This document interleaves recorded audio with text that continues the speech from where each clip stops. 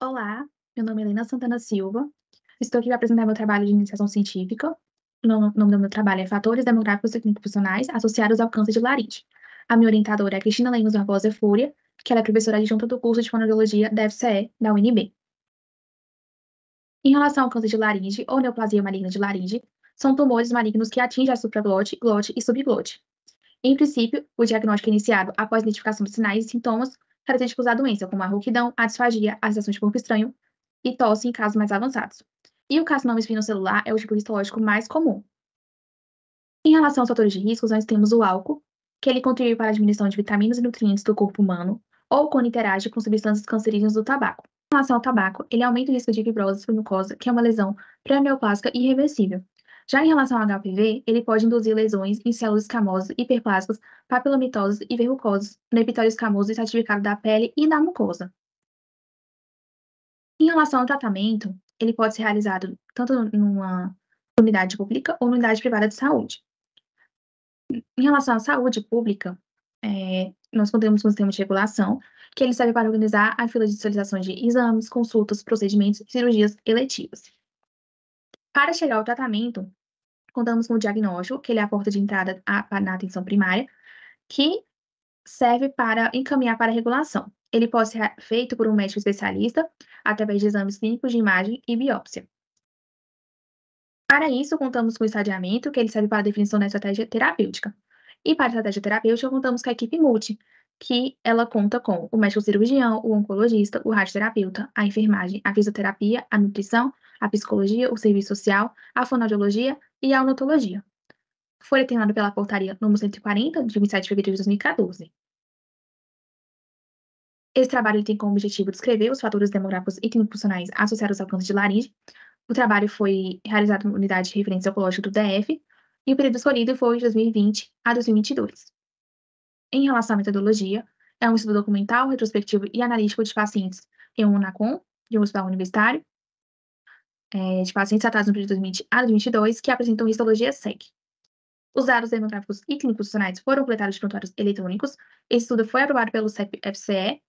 E para análise estatística, contamos com o software SPSS. Os critérios de exclusão foram menores de 18 anos, o diagnóstico diferente de neoplasia maligna de laringe, histologia SEC, e tratamento realizado antes de 2020.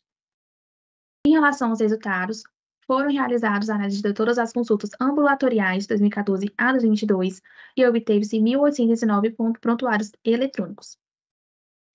Uh, foram triados né, de 2020 a 2022 e foram identificados 37 casos. Desses 37 casos, foram excluídos 8 casos por não estarem de acordo com os critérios de inclusão. Por fim, a nossa amostra final foi de 29 prontuários. Em relação aos resultados e às suas considerações, temos que maioria sexo masculino, acima de 60 anos, em estadiamento avançado, etilistas tabagistas, com uma alimentação é, de gastronomia emergencial, uma respiração tracostomia emergencial, uma comunicação laríngea. O tratamento preferencial foi de quimioradioterapia. O período entre a biópsia e o tratamento foi, teve ali uma média de quatro meses, e esses pacientes são regulados em mais de unidade oncológica.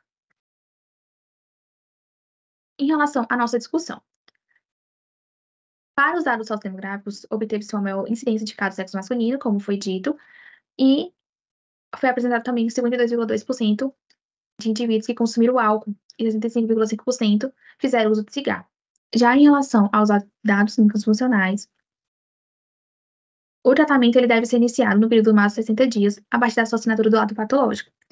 Porém, de acordo com nossos dados encontrados, há um maior tempo de espera pelo tratamento, e nem sempre há acesso à vaga.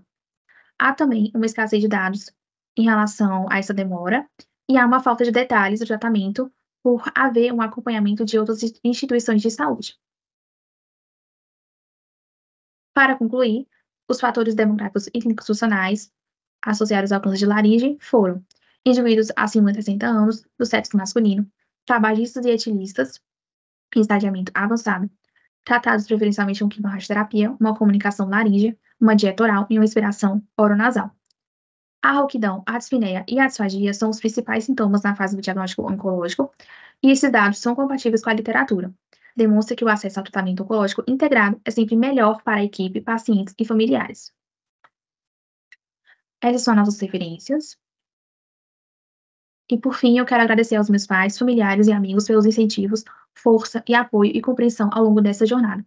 Agradeço à professora orientadora Cristina Lemos Barbosa Folha pela orientação, apoio, conselho. E, por fim, eu quero agradecer ao CNPq por incentivar a pesquisa através do aceite e apoio financeiro para o projeto.